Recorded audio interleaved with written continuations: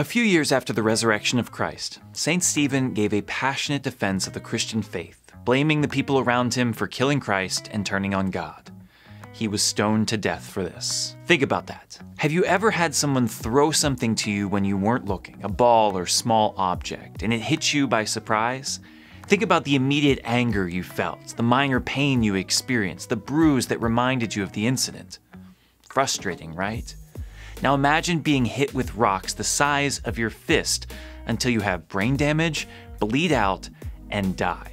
Yeah, that, that does not sound fun. In accepting death rather than renouncing the faith, St. Stephen became the first martyr among many in our church's history.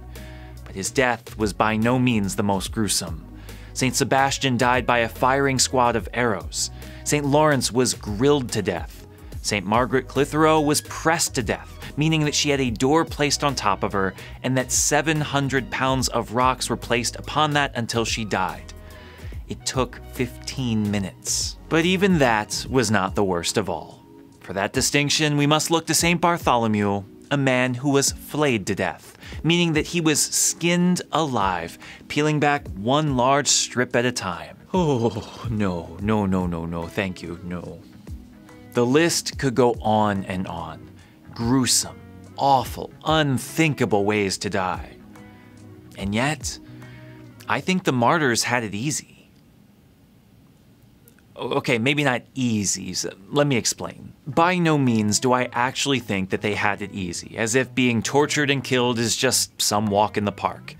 Their witness of faith and perseverance in the face of unthinkable pain is incredibly inspiring, and I do not for a second claim that I would be able to do what they did. Clearly, we're talking about heroes here. Clearly, we're talking about people with superhuman strength and faith. But just because they experienced excruciating deaths doesn't mean that their lives were necessarily the most difficult being crushed under 700 pounds of rocks, being shot with 50 arrows.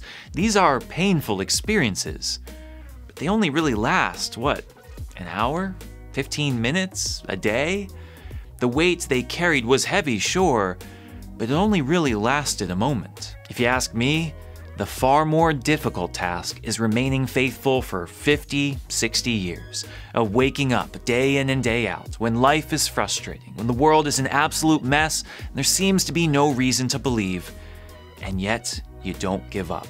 I think about the lives of parents all around the world, people who sacrifice for their children. My guess is that there's nothing that most parents do on any given day that would be heroic, nothing so overwhelming or painful or self sacrificing that they deserve their own lifetime original movie. Truly, in 99% of cases, anyone could be a parent for a day. But what about doing that 365 days a year, year after year? Making breakfast, dropping off at school, going to work, picking them up from school, cooking dinner, helping them with homework, taking to soccer practice, cleaning up, dealing with fights, putting to bed, starting over the next day, doing the same thing every single day. Instead of having 700 pounds dumped on you all at once, it's more like holding one pound in your hand everywhere you go, no matter the situation, for 700 straight days.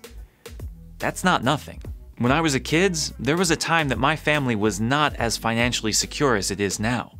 My dad had to work multiple jobs, including a night shift for a while, to make sure that we could pay the bills.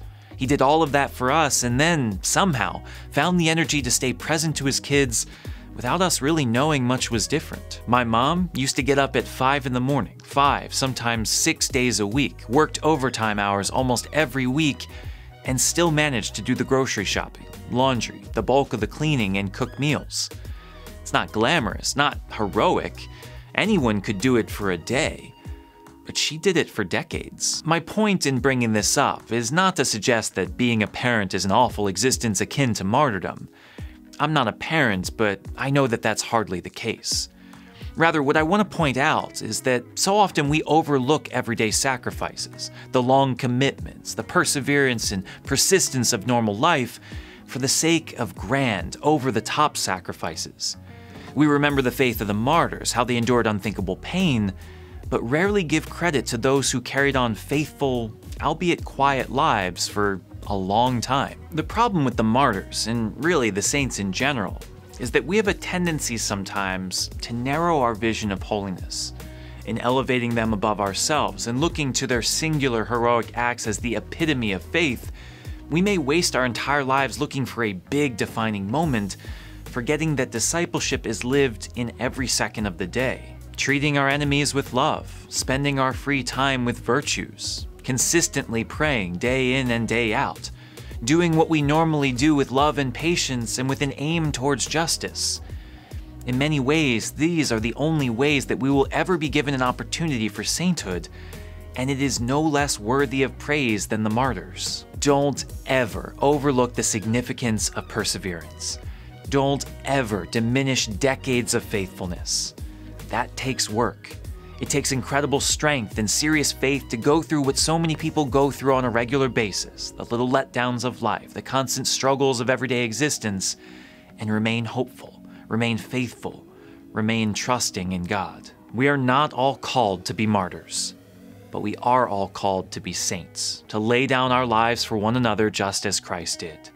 We can do this in a quick flash of heroism all at once but we can also do this over the course of a lifetime, offering little sacrifices in everything we do. The fact of the matter is that God doesn't need heroes, He needs disciples.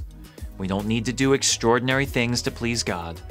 Sometimes it's as simple as doing ordinary things with extraordinary love.